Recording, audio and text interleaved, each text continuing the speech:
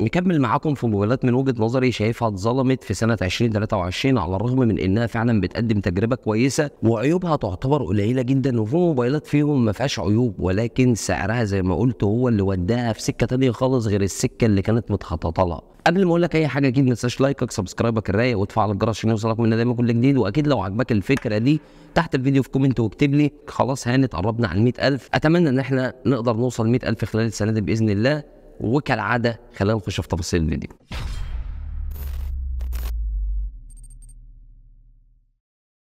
أهلا وسهلا بكم. أنا محمد ودي قناة MK Reviews. وأول موبايل شايفه مظلوم من وجهة نظري هو من شركة Oppo وهو ال Oppo Reno 8T ولكن النسخة ال 5G. اولا النسخة دي ما نزلتش ضمان محل في مصر. كل النسخ اللي موجودة هي ضمان دولي. ولكن أول ما الموبايل ده نزل كان بيتكلم في 15000 جنيه. في حين إن كانت في موبايلات أصلا موجودة معاه في نفس الفئة السعرية بتقدم مواصفات أقوى منه. على الرغم زي ما قلت لك من إن الموبايل مواصفاته ممتازة. يعني الموبايل بيقدم شاشة AMOLED 120 هرتز curved الموبايل بيقدم معالج Snapdragon 695 يعتبر كويس بالنسبة لاستخدامك مع software Oppo وكمان بالنسبة لتجربة الألعاب هيقضيك بدون أي مشاكل. بس لو أنت gamer المعالج ده هتكون محتاج أقوى منه لأن هو مش أحسن حاجة في تجربة ال gamer وخصوصا إنك بتدفع 15000 زي ما قلت لك. هنا بقى في الفئة السعرية دي كان في عندك ال Poco F5 كان في عندك ال Realme 11 Pro أرخص منه بحوالي 3000 جنيه وبيقدم معالج أقوى منه. بعد كده بدأ ينزل وراه موبايل من Oppo زي ال Oppo Reno 10 كان بيقدم معالج أقوى منه وفي نفس الفئة السعرية بتاعته. أي نعم مع الوقت ال Reno 8T 5G بدأ سعره ينزل لحد ال 12000 جنيه. ولكن برضه ما زال معاه في الفئة السعرية ال Oppo Reno 8 العادي اللي بمعالج أقوى. ما زال معاه برضه من شركة Realme ال Realme 11 Pro العادي اللي برضه بيقدم خلطة تعتبر كويسة جدا.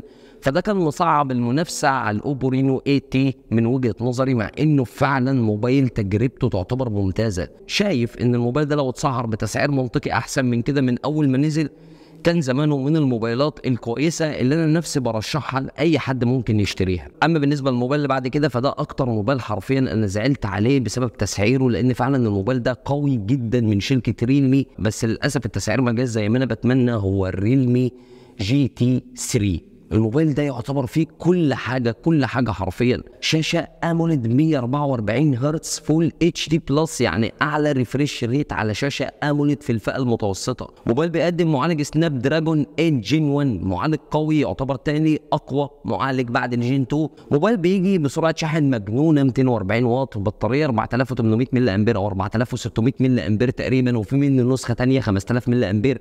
مع شاحن 150 واط. ولكن أنا كان تركيزي على الشاحن ال 240 واط على النسخة دي بالتحديد. في كل حاجة أنت كان ممكن تدور عليها في موبايل فئه متوسطة. كنت بتمنى إن الموبايل ده ينزل تحت ال 20000 جنيه ولكن اتصدمت لما لقيت الموبايل ده اتسعر ب 27000 جنيه في السوق المصري أول ما نزل. وحاليا هو سعره بيتكلم في 24000 جنيه تقريبا أو 25000 جنيه. لسه برضه ما زال سعره يعتبر عالي. فدي من ضمن الحاجات اللي وقعت الموبايل ده على الرغم زي ما قلت لك من إن الموبايل ده فعلا ممتاز من أحسن موبايلات ريلمي في الفئة المتوسطة عامة وهو أصلا في أي دولة تانية سعره كويس جدا وفي الفئة المتوسطة. ولكن زي ما قلت لك في السوق المصري الموبايل اتسعر تسعير مبالغ فيه فبالتالي ما حققش المطلوب منه من وجهة نظري أو ما خدش الشهرة اللي كان المفروض ياخدها على كمية المواصفات القوية اللي الموبايل ده بيقدمها. أما بالنسبة للموبايل بعد كده هو ال Oppo Reno 10 Pro النسخة ال 5G. اللي حصل إن الموبايل ده كويس وتوليفة ممتازة من Oppo مع معالج Snapdragon 778 شاشة AMOLED 120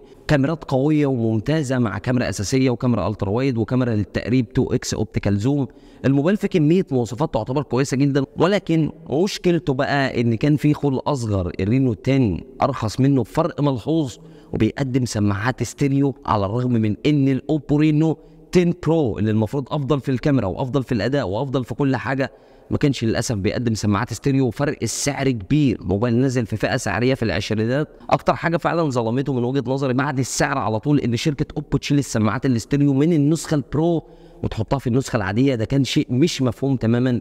مفيش حاجة اسمها إن النسخة ال Pro تكون أقل من النسخة العادية ومتشال منها شوية تضحيات. عندك موبايلين كمان من سلسلة ال Redmi من شاومي. شايفهم اتظلموا جدا. ال Redmi 12 العادي وال Redmi Note 12 Pro Plus وده اللي شايفه اتظلم أكتر بكتير من أي موبايل تاني من شاومي. نبدأ بال Redmi 12 اللي كان أول ما نزل كان سعره يعتبر منطقي كان بيتكلم في نص ال 5000 بداية ال 6000 جنيه ولكن مع زيادة الأسعار ومع الوقت ولقيت إن الموبايل في بعض الأحيان بيوصل ل 8000 جنيه. أي نعم الموبايل تصميمه من الإزاز مختلف عن أي موبايل تاني. بس هل تصميم من الإزاز كافي إنه يخلي موبايل بمواصفات موبايلات في فئة 7000 جنيه أو أقل من 7000 جنيه يتعرض ب 8000 جنيه؟ هل ده منطقي؟ هل ده ممكن يخلي الموبايل ده يبيع؟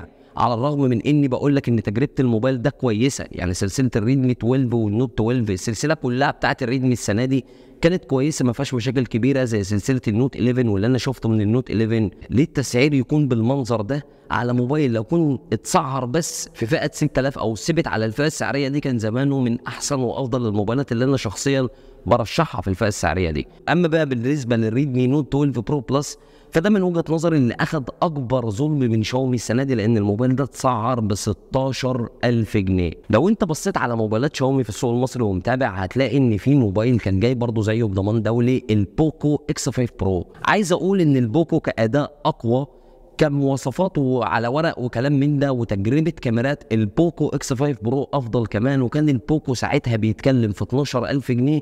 وكان ال Redmi Note 12 Pro Plus بيتكلم في 16000 جنيه وكل التسويق رايح للكاميرا ال 200 ميجا بكسل على الرغم من إن ال Poco بيجي بكاميرا 108 ولكن نتائج الصور النهائية اللي بتطلع لل Poco أفضل وكمان ال Poco في أداء الألعاب والأداء اليومي أفضل من وجهة نظري. ال Redmi Note 12 Pro Plus ما كانش بيتفوق في أي حاجة غير في الشاحن ال 120 واط والتصميم الإزاز. غير كده بقى ال Poco بيتفوق في بقية الحاجات التانية وفرق سعر مش قليل 4000 جنيه حرفيا أو يمكن أكتر من 4000 جنيه كمان. فده شايفه أكتر موبايل مظلوم فعلا من شاومي على الرغم من إن الموبايل فعلا ممتاز ما فيهوش أي مشكلة من وجهة نظري بس كنت أقول عليه ممتاز لو كان بيتكلم في 13 12 لكن 16000 جنيه شايف إنها بعيدة وخصوصا إن تجربة الكاميرات في الفئة السعرية بتاعت 16000 جنيه من الموبايلات الثانية تكتسح ال Redmi Note 12 Pro Plus. في رأيي ومن وجهة نظري إن شاومي حاولوا يراجعوا حساباتهم السنة الجديدة وينزلوا الموبايلات في أسعار تعتبر منطقية ويرجعوا كده شاومي بتاعت زمان بتاعت القيمة مقابل سعر اللي أنا ما عدتش بشوفها حاليا.